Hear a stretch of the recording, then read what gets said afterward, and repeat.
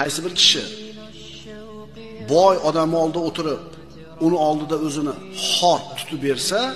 bas shu kishini dinini uchdan ikki qismi ketdi